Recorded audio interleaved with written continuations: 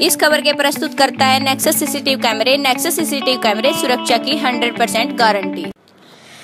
फतेहाबाद में मजदूरों के जीवन स्तर को ऊँचा उठाने के उद्देश्य से सम्मेलन चल रहा है। सम्मेलन में भाजपा प्रदेशाध्यक्ष सुभाष बराला और श्रम राज्य मंत्री नायब सिंह सैनी मौजूद हैं। वक्ता मजदूरों को आ रही समस्याओं की विस्तृत जानकारी मंच पर बैठे नेताओं को दे रहे हैं, लेकिन इस समय भाजपा के वरिष्ठ नेता अग्रिम पंक्ति में बैठकर नींद फरमा रहे हैं। वे ना तो वक्ता की बात को सुन रहे हैं और ना ही पार्टी की वरिष्ठ नेताओं का ध्यान रख रहे हैं। नेताजी तो बस सोने में व्यस्त हैं। नेताजी की नींद की वीडियो सोशल मीडिया पर काफ़ी वायरल हो रही है।